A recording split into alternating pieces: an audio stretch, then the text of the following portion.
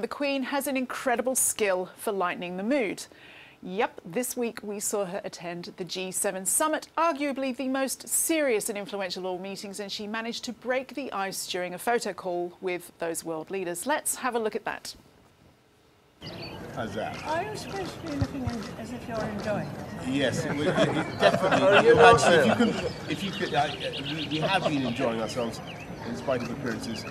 And Rebecca English is back with us now. Rebecca, am I right in thinking that there is more of this that goes on? We just don't usually see it.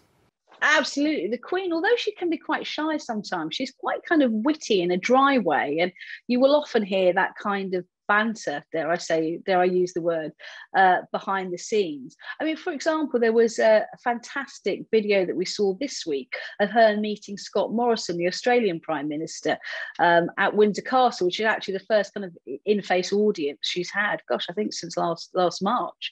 Um, and he made a point of saying to her how excited the uh, G7 leaders had been to meet her and that she was quite the hit, and everyone was talking about it at dinner the next day. And you saw the Queen kind of look at her hands and say, "Oh, good lord, really?" You know, and and that's what you actually do see in private a lot.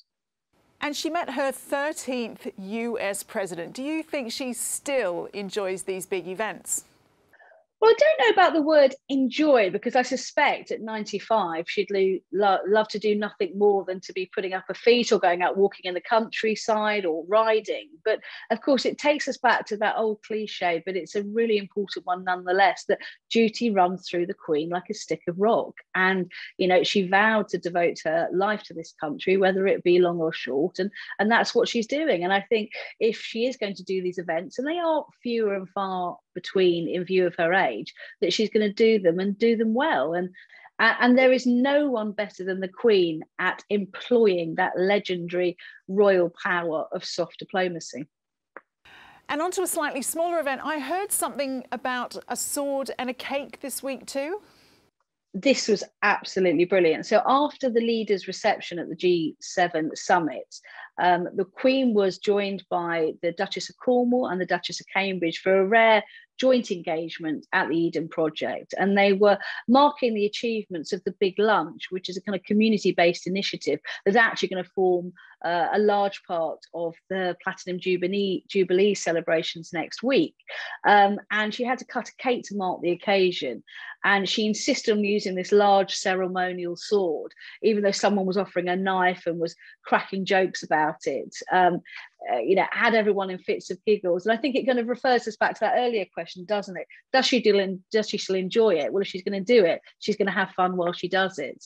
And uh, you know, does she still relish doing these things? I think in some funny sort of way she does. So, Richard, Queen, the ultimate icebreaker there. What did you make of that?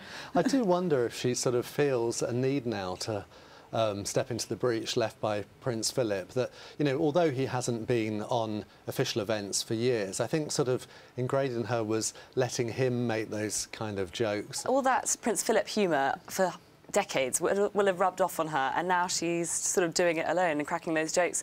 And with the cake thing, she actually told somebody off. Somebody tried to get her in a real knife and she said, oh, no, I can bloody well do it with this, um, with this sword. And she really gave her ticking off. and It was very Prince Philip-esque and it was re actually really nice to see. I just think yeah. what, what's so incredible is her stamina, isn't it? She was at this, you know, G7 event, a party really, you know, in, in Cornwall. And then the next day she's back at Windsor presiding over the trooping the colour. You don't, you don't see her yawning or even looking tired. She, she was tapping her feet. That's all we have for you on our YouTube show. But to see the rest of this episode, including some more fascinating royal revelations, head to www.mailplus.co.uk forward slash royals or click the link on screen now.